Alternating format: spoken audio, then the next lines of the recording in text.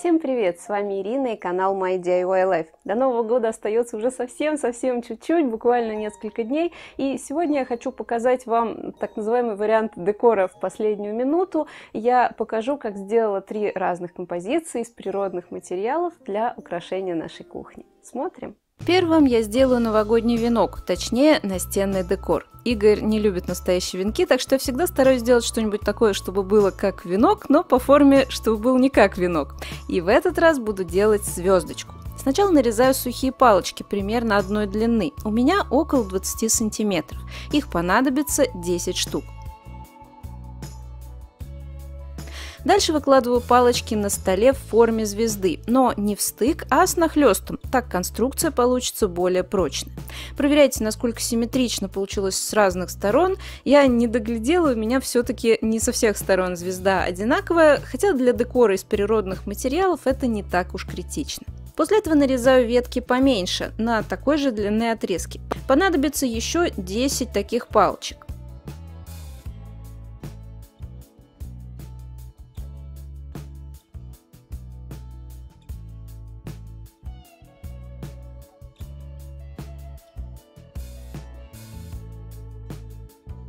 И дополнительно режу кусочки поменьше. Ими я буду укреплять конструкцию, укладывая поперек основных палочек. После этого всю конструкцию можно склеивать. Я проклеиваю все места соединения палочек горячим клеем. Сначала подклеиваю продольные, а потом дополнительно сверху приклеиваю поперечины, стараясь располагать их в разных местах звезды и под разными углами. Так смотрится более живописно.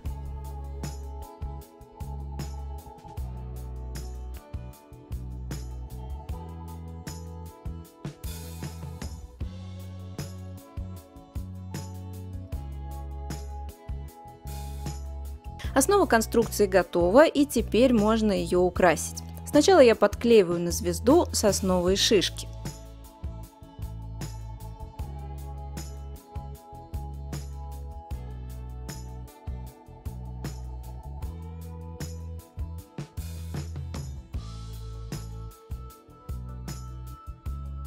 Дальше дополняю ее искусственными ягодками. У меня эти ягодки из декоративных веток, которые каждый год продаются в фикс-прайсе. Я подобрала сюда ягодки помельче и покрупнее.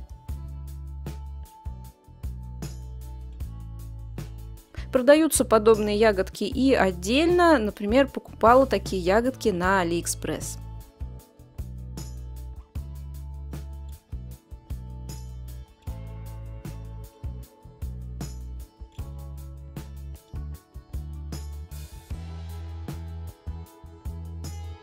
Ну и, наконец, чтобы оживить композицию, добавляю зелени. У меня маленькие искусственные хвойные веточки. Эти я тоже покупала на Алиэкспресс. Оставлю для желающих ссылочку, если они еще продаются. Можно взять хвойные веточки и из тех же композиций из Фикс Прайса.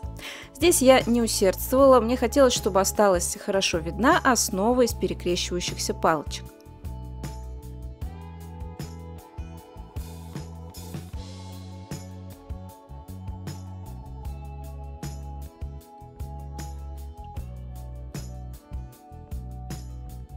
В самом конце добавляю немножко искусственных зеленых листочков, они напоминают брусничные листья, хотя довольно светлые.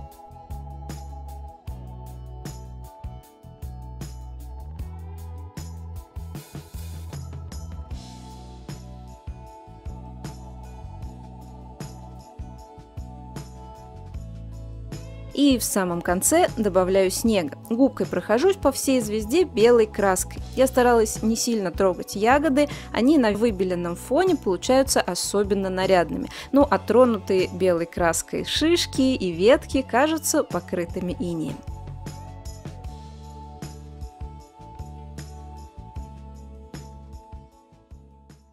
Такая звезда хорошо будет смотреться на двери, на стене, можно повесить ее и на окно. Благодаря ажурной конструкции она хороша и на просвет. Делается буквально за 15 минут, но смотрится очень симпатично. Кстати, также можно сделать и традиционный круглый венок при желании, если склеить также маленькие кусочки палочек по периметру.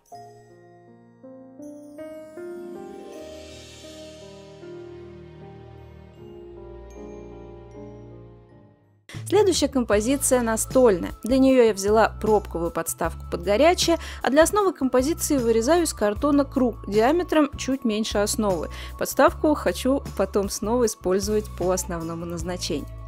В центр я поставлю стаканчик и под него я тоже вырезаю отверстие в картоне, чтобы видеть, куда клеить. Дальше заклеиваю картон разнообразными природными материалами. В ход сначала пошли грецкие орехи.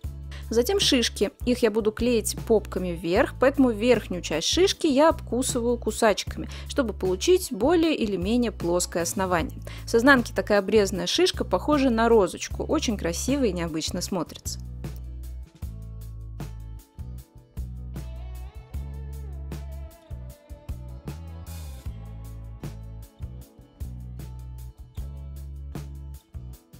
Несколько шишек поменьше добавляю в нормальном, так сказать, положении. Дальше в ход у меня пошли каштаны. Я собирала их пару лет назад для поделок, просушила, и они у меня долго-долго лежали. Вот, дождались своего часа. Можно добавлять сюда, в принципе, абсолютно любые желуди, шишки, орехи, какие найдете. Очень красивый фундук добавить, например. Я потом еще подклеила сюда желудевые шапочки. Сейчас, кстати, много продается наборчиков с природными материалами в рукодельных магазинах, например, в Леонардо. Есть достаточно необычные, а есть и простые сосновые шишки. Оставлю в описании ссылки на то, что найду. Хотя, конечно, приятнее использовать то, что собрано своими руками. После этого черед хвойных веточек. Я использовала здесь веточки двух видов. Одни у меня очень крупные и лохматые, я их порезала на кусочки, но они какие-то даже тропические получились в таком виде. И те же веточки использовала, что уже брала для звезды. Эти веточки я тоже порезала на небольшие кусочки. Подсвечник небольшой, а нужно было заполнить все просветы между шишками и орехами. Я старалась, чтобы картона нигде не было видно.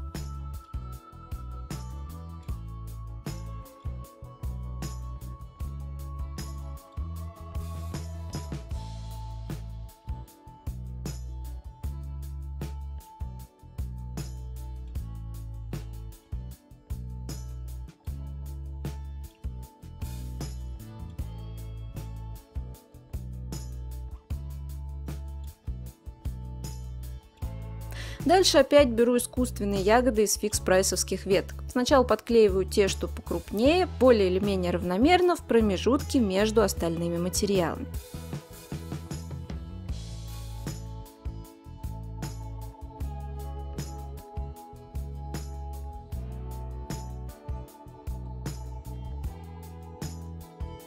А ветку с маленькими ягодами я порезала на небольшие кусочки и добавила в оставшиеся промежутки.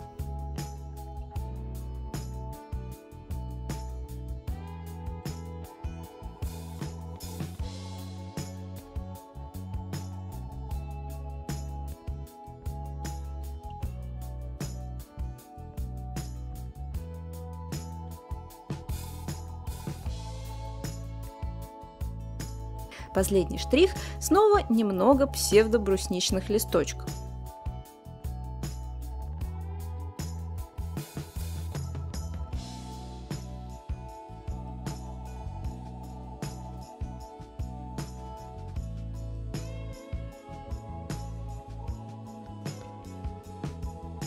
и, как в первом случае, прохожусь губкой белой краской по всем орехам и веточкам, стараясь поменьше трогать ягоды.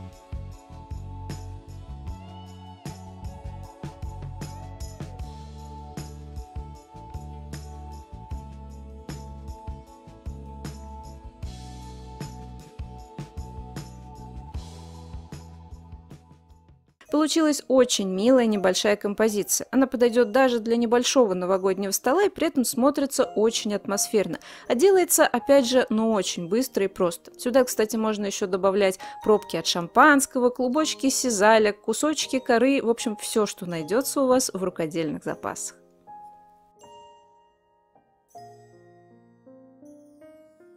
Дальше я решила сделать небольшую настольную елочку. Для елочки понадобится основа конус. Можно купить готовый из пенопласта, можно скрутить его из картона. Ну а я решила использовать елочку от одного из моих старых мастер-классов. Там я основу делала сама из полистирола, склеивала несколько кружков пирамидкой. Оставлю ссылку на то видео, если интересно, посмотрите. Обдираю с основы фетровые листочки и подкрашиваю в темно-коричневый цвет, чтобы основа не просвечивала потом. Я елочку приклеила на спил дерева, который раньше служил подставкой, но можно оставить ее и без ствола, как вам больше нравится. Дальше я наделала из шишек розочки, так же как для подсвечника, откусив верхнюю часть. Тут у меня частично собранные на даче шишки, частично светок из фикс прайса. Они, видимо, покрыты лаком, потому что те шишки коричневые, а не серые, как свои. И еще одна шишка у меня, не помню чья, она тоже похожа на розочку. Эти розочки из шишек приклеиваю на конус в хаотичном порядке. Я только старалась э, шишки покрупнее приклеить на нижнюю часть конуса, а маленькие шишки клеила повыше.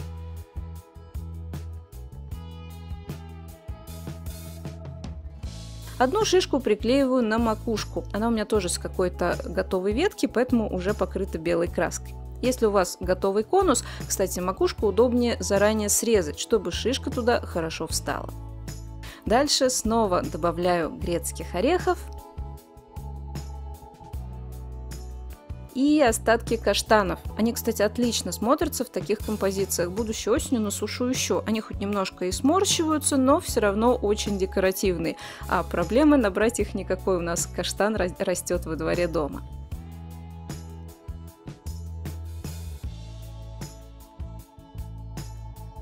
Дальше дополняю елку штучками поменьше. Маленькими шишками, желудевыми шапочками, какими-то неведомыми орехами с Алиэкспресс. В общем, всем, что у меня нашлось.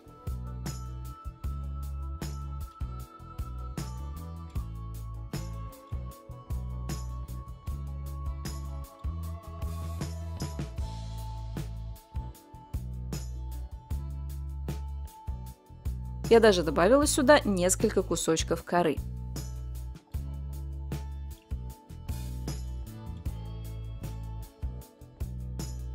Теперь зелень. Приклеиваю хвойные веточки. У меня их уже не так много осталось. Я старалась заполнить все пустые промежутки. Красиво сюда будет добавить еще искусственную сосну, если будете делать елочку покрупнее.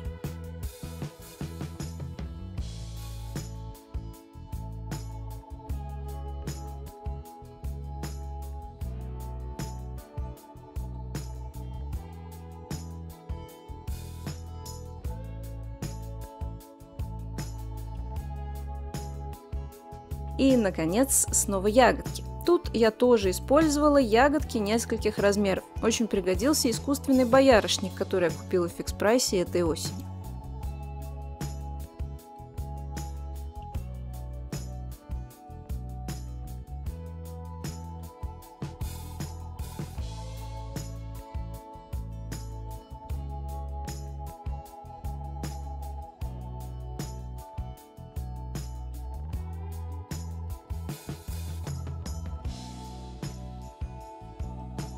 Дополняю елочку уже традиционно псевдобрусничными листочками. Кстати, кажется, это был искусственный самшит изначально.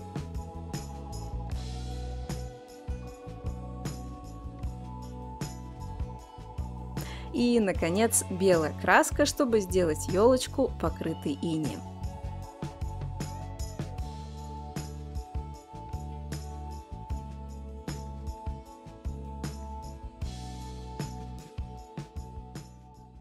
Материалы для изготовления такой елочки, опять же, можно брать очень разные, от маленьких псевдоподарков и небольших елочных шаров, и до хлопковых коробочек и сушеных кружочков апельсина. Ну, я думаю, вы множество подобных елочек видели и в Pinterest, и в Instagram, и на YouTube.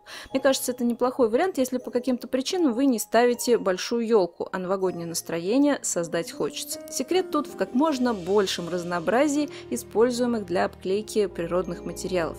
Когда на елочке карточке очень-очень много всего, ее хочется разглядывать, и смотрится она более интересно.